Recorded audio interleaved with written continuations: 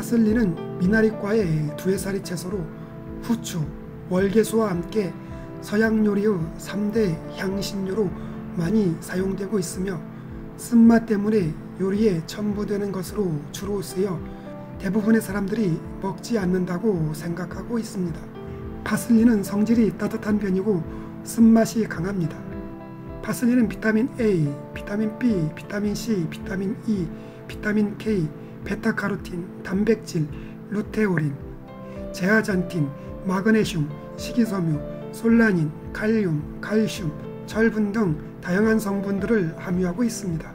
파슬리는 고대 이집트에서 비뇨기에 좋은 약초로 활용되고 있습니다. 오늘은 영양소 함량이 야채 중 톱 클래스로 알려진 파슬리의 효능에 대해 알아보겠습니다.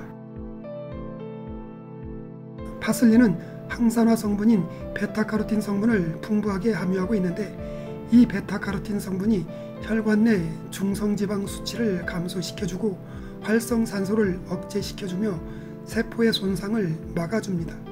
그리고 파슬리 속에 함유된 플라보노이드 성분은 나쁜 콜레스테롤을 몸 밖으로 배출시켜주고 콜레스테롤 생합성을 감소시켜 콜레스테롤 수치를 낮추어줍니다. 그리고 파슬리 속에 함유된 엽록소는 피를 맑게 해주고 혈액을 깨끗하게 정화시켜 주어 동맥경화를 비롯해 고혈압, 심근경색 등 각종 심혈관계 질환을 예방하는 데 도움을 줍니다.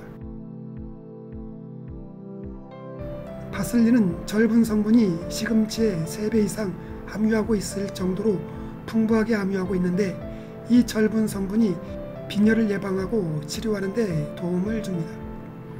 또한 파슬리에 함유된 비타민 K는 뼈의 단백질 합성을 활성화시켜 주어 뼈에 칼슘이 침착하는 것을 도와주고 뼈에서 칼슘이 빠져나가는 것을 막아줍니다. 파슬리에는 루테인과 제아잔틴 성분들을 함유하고 있는데 이 성분들은 시각 기능을 저하시키는 것을 막아주는 성분으로 강력한 항산화 작용에 의해 눈의 황반부와 수정체를 자외선으로부터 보호해주고 황반변성과 백내장을 예방하는 데 도움을 줍니다.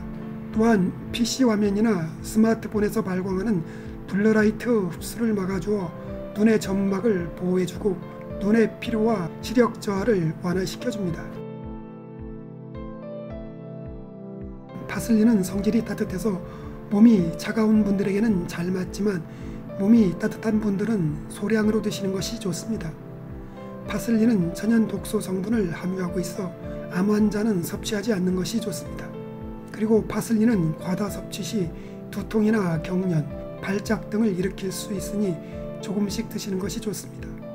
또한 파슬리는 임산부는 낙태 및 조산 발생을 일으킬 수 있으니 섭취하지 않는 것이 좋으며 신장이 안 좋은 분들과 담낭이 안 좋은 분들도 가급적 섭취를 하지 않는 것이 좋습니다.